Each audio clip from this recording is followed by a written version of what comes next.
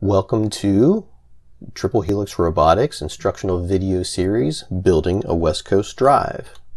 In this episode, episode 3, we're going to be drilling the center axle bearing hole using a milling machine.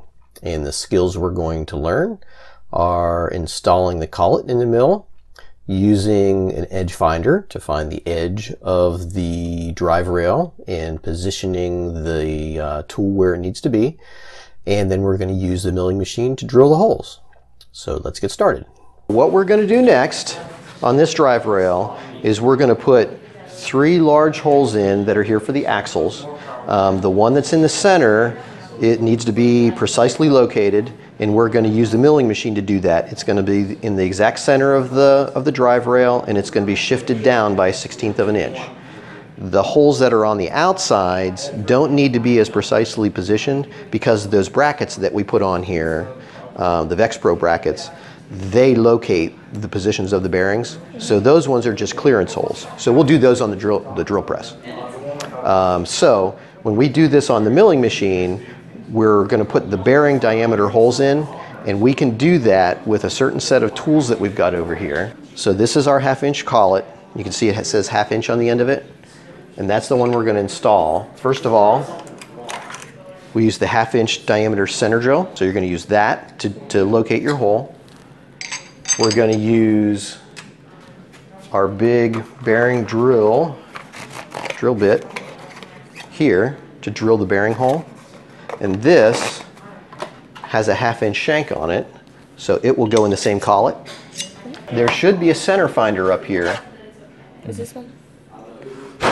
Well, there should be one. This one is a half inch in diameter. So, Oh, so we don't have to. so you do, yeah, so you can install this one collet and you can do all the operations that you need to do without ever having to switch out. So our first thing we need to do is swap out the chuck for the collet. What she's doing is loosening up the, the um, lock nut up on top. And then did you tap it to make it come loose? So you got to loosen this up a little bit like that. There, now you tap it. Yep, and now you can unthread it.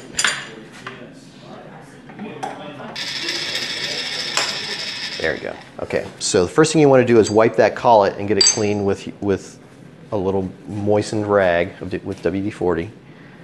Uh, you squeeze on top. It'll come out. There you go. Yeah, yeah, squirt it good. There you go. And then you can wipe it. So you want to make sure there's no chips in that because the chips that are in there will get trapped up inside and it'll, it will keep it from fitting properly. And then you want to take your finger and you want to run it up inside of here, like get a little WD-40 on your finger, like that. Mm-hmm. And you want to run it up inside and spin this by hand. And then that will wipe out any chips that you have up on the inside. And now you know that you'll know that that's, that's perfectly clean when you install it.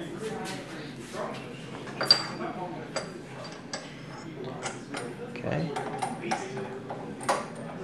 So you're going to use the center finder first. Yep.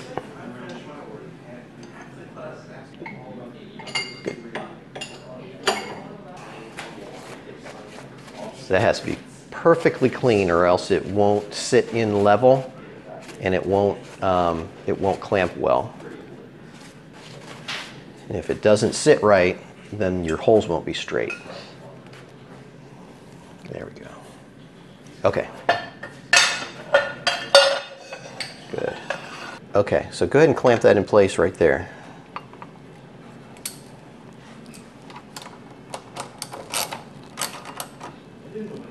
Good.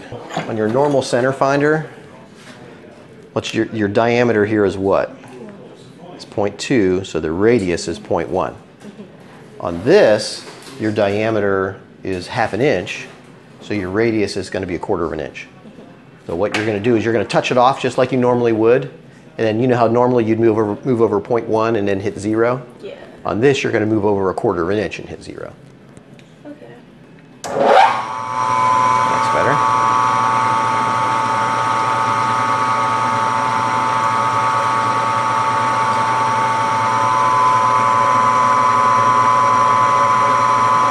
So when you use a center finder, you're coming up and you're touching on it and see how it jumps off to the side when it touches? We use that to set the zero, and then she'll do it again to confirm that it's in the right spot. So,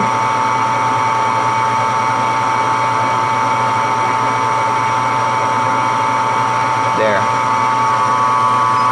And what we're looking for is for that, the tip of that to jump when it touches.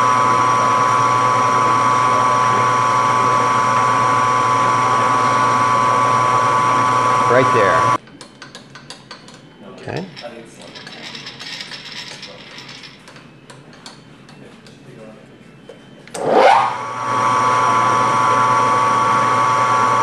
And now you'll be able to see it jump towards me, I think. Yep. Let me hit it for you? Yeah, Okay. Now you can lift it up out of the way. Okay. Now come in until it says zero in that in the Y direction.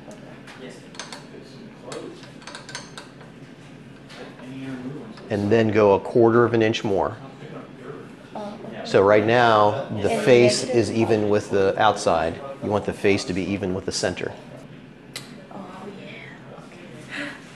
There you go. Yes. Okay. So that's Y zero.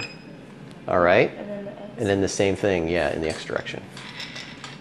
So crank it until you can see that the face of this is even with this, and that should say zero. Yes. Good. Okay, now move the part that way a quarter of an inch, and the edge should line up with the center of your of your tool. There you go. Okay. Now, now this corner should be in the exact center of your tool. Yeah, sweet. Okay, so now the next tool you need is this one. So you can swap your tools out.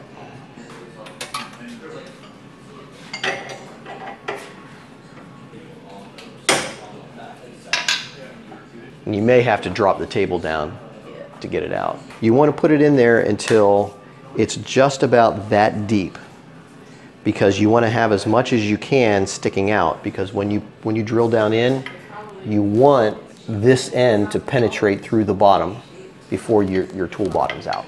Okay. So you're so if you put it like right in the middle, you're probably not going to have enough. Let's see. You know, no, it won't quite make it. So you're going to have to cheat it down a little bit to about like that. Okay. Good. We're going to come this way, half of 27.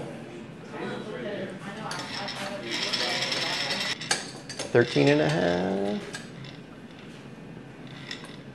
Okay, now you want to lock your X. There we go. You want to come in with your Z an inch and a sixteenth. Not Z. Y. 1.0625. Two, and you're not going to hit it exactly. That's that's good. So, yeah, and then lock your Y.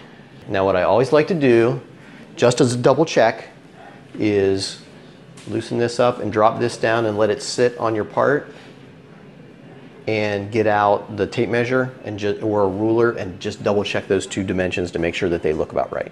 Look right? you said negative one, so, It's okay. You're, you're just checking just to make sure that nothing got messed up. yeah. Okay, that looks good. That's it. Yeah. Good. Okay, so we know we're in the right place. Now, in order to drill this thing all the way down and through, you're going to want to start with the with the, the surface of this up pretty close to the tip, so you don't have to push it down too far. There we go. Good. Now, when you drill down through, you should be able to get all the way down. And it never hurts to squirt a little WD-40 on that tool to keep it nice and clean. There. Okay. Now, you want to go ahead and drill it down through until the tip of this pokes out through the bottom. It's gonna go a lot of places.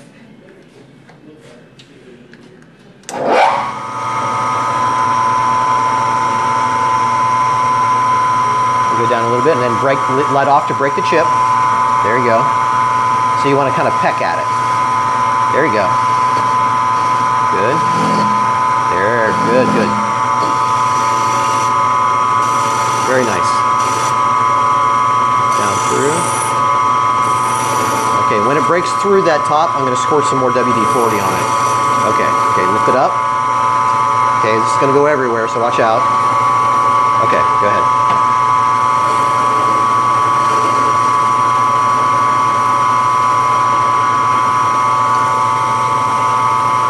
Okay, break that chip on the inside. There you go. Good.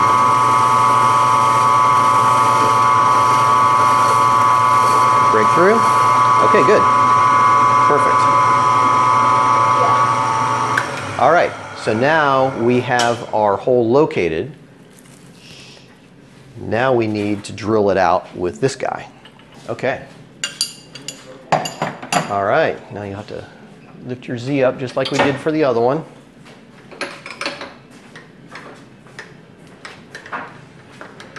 Now this is a one and an eighth inch drill bit that we bought from, I think we got it from McMaster-Carr. That's, that's good enough.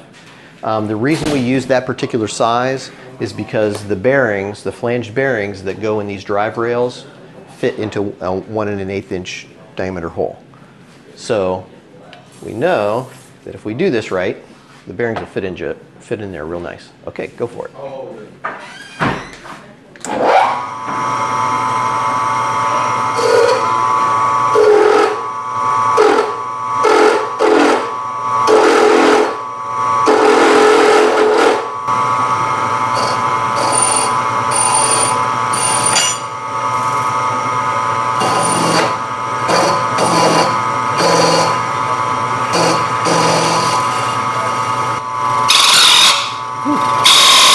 Chattery. You're okay. Uh, do you need to lift it up higher? You may, you may be running out of room. Oop, other way.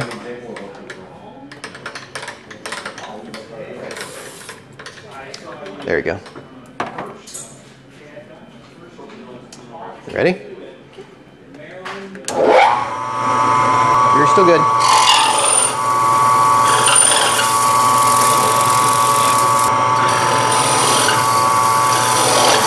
There you go. Okay, we're through.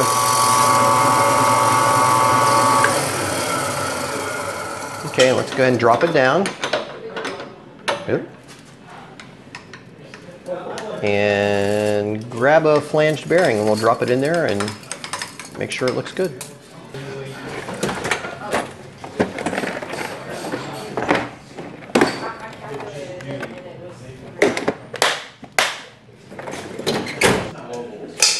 Perfect. That's awesome. Good fit? Yeah.